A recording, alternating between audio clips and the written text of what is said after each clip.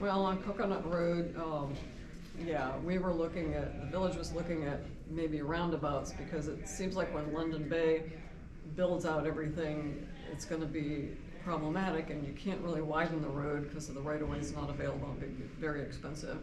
So we were looking at the idea of the roundabouts, we we're trying to see if Bonita would cost share with us, but, you know, that was politically, maybe, maybe it will happen at some point, we don't know. Um, so we're trying to figure that out, but in the meantime, uh, Pelican, Pelican Landing Colony has got two more high rises that are just came, just were submitted to, being submitted to Bonita.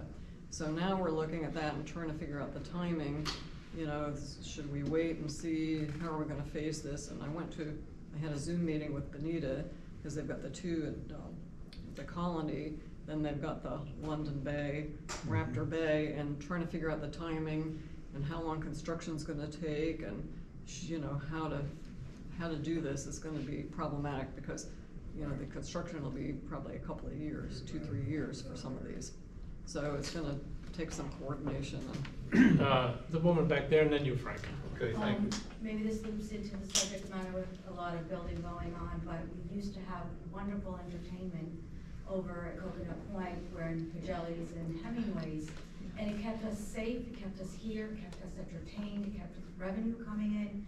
And really, the only entertainment we have in Estero is the Marlin Bar, Tommy Bahama's. So I personally, if I wanted to do something tonight, I would have to travel downtown or Myers, because it's, or, or Bonita. So just wondering, are we gonna get our entertainment back keep us safe and to keep us local? well, that, we, that's what we want. Uh, I know that Coconut Point had the problem, I know, I worked at the county at the time, when they had the opera singer, which I always tell the story, and the opera singer, somehow that music bounced across the road and the lake, and everybody on Fountain Lakes called and saying it was horrible. We had to get the opera singer toned down, and I think the opera singer eventually left. Um, you would think an opera singer would create that much controversy. So we, we tried to tone that down, but, and then the, and then when the village first started, they were very strict about the alcohol consumption, they were very strict. But now we've kind of loosened up on that to where we can, you know, like if we've got alcohol at Paradise, why can't we have some entertainment? So Via Coconut that got approved has a little Main Street area and they wanna build some, uh, and they got approval for alcohol and bars. So we're looking at those things now and, and Coconut Point, I don't know what Simon is doing, cause you know, the retail business is so bad, but the entertainment is still very popular with people, so we're trying to encourage that. You know, we want to get, we, we think, we do need more of that, cause nobody wants to drive downtown, cause it's, Right. it's a nightmare. Frank? Um, Yes, sir, forgive me, this is not so much a question as it as it is a a statement.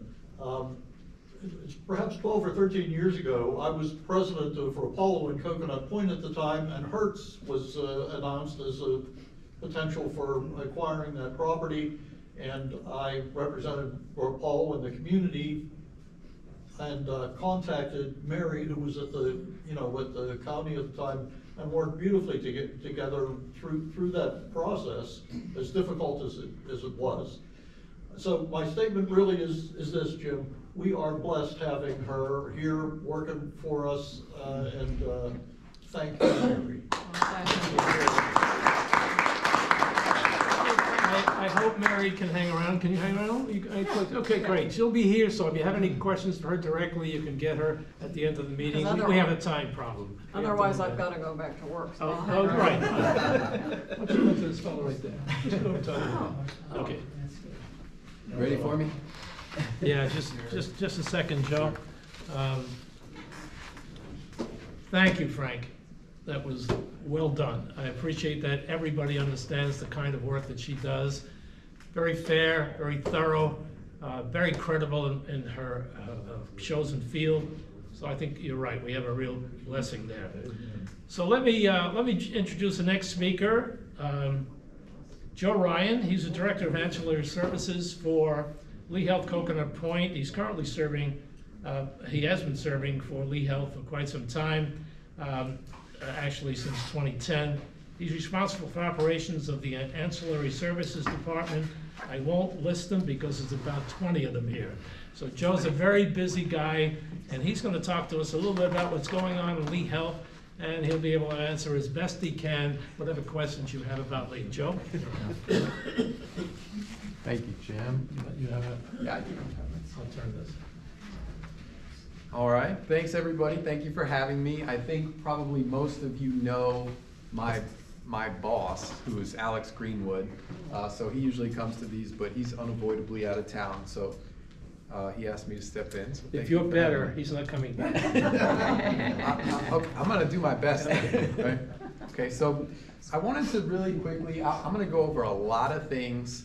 Um, and I think I'm gonna answer probably some of the questions that you guys are already wondering about, and already asking about.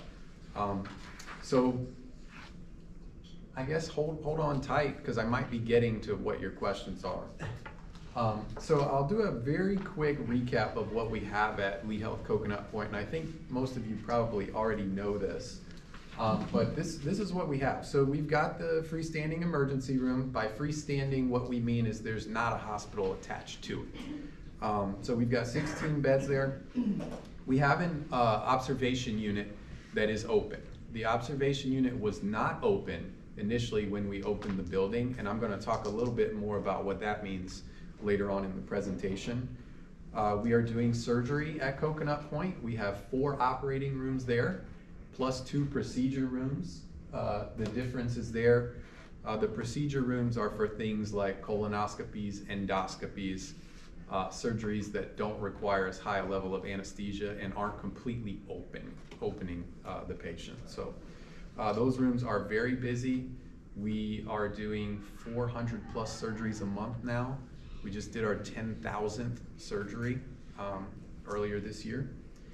Uh, we have physician practices on site, and there's a lot of moving parts to that, especially with Bonita Health Center, which I will talk about also uh, later in this presentation. But as of today, these are the disciplines that are inside the Coconut Point building. It's primary care, peds, pediatrics, orthopedics, cardiology, pulmonary, and OB, GYN. Um, all of those are Lee Health physician groups. There are other private physician groups next door to us, which I'll talk about as well. Um, and then we have the ancillaries. Uh, the ancillaries is what I'm directly responsible for, uh, operationally at the building, and I won't list them all, but you can see it's basically everything that supports the physician practices. Um, we have a lot of non-clinical services there too, uh, mainly through the Healthy Life Center, which is an access point um, for people looking for navigation. Um, we can schedule you through the Healthy Life Center. You can learn about what doctors are there. We have uh, education that happens. It's in person and virtual. Uh, COVID actually grew that department. It didn't shrink it because they were not virtual before COVID. So now we're having hundreds of people attend these classes instead of 25 that are available to go in person. Um, one thing that I wanted to mention here, uh, we get a lot of questions about the walking path. That's, that's basically a function of the Healthy Life Center. We have walking paths all around Coconut Point, and there's a lake on the front side, uh, on the north side, that the walking path just stops and it doesn't go all the way around the lake.